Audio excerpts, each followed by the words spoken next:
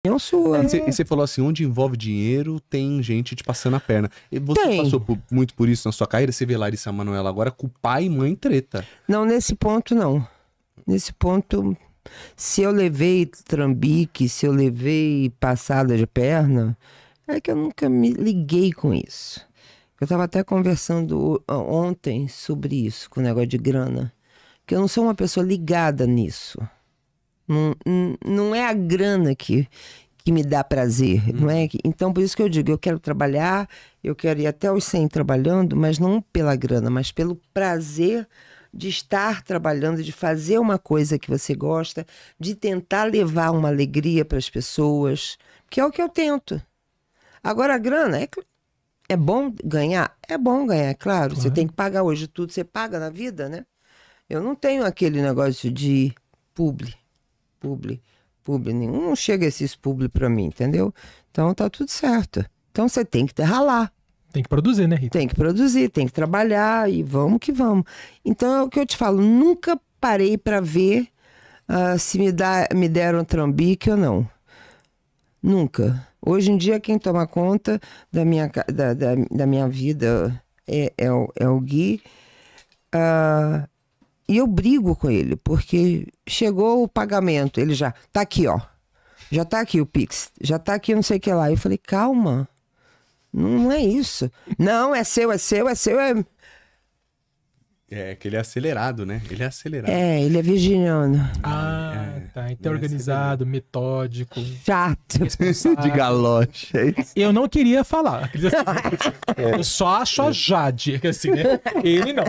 Ele... A Jade eu acho um pouquinho, mas o seu irmão não. Ele é. Mas ele é muito. É muito metódico. correto. O virginiano é É metódico. E aí eu, eu não gosto disso.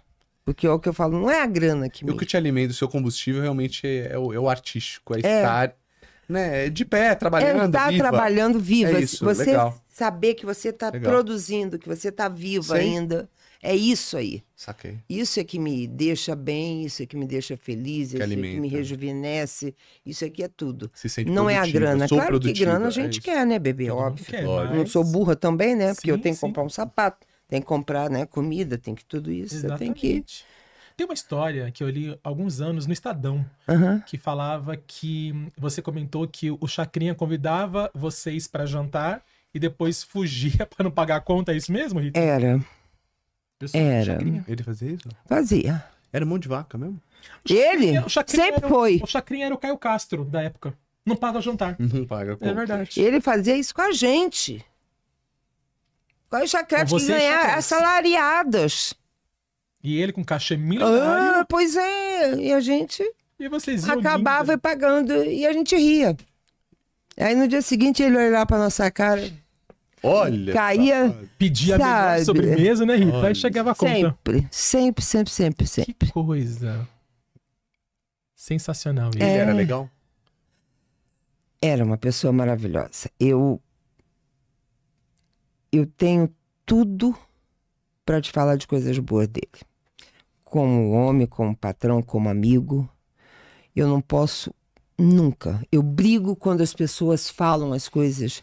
Eu briguei com a Perla, cantora paraguaia, Perla paraguaia, por ela ter falado, ter comentado, dizer que o Chacrinha ah, usava aquela cueca samba canção para poder se esfregar, para que cantou, que fez.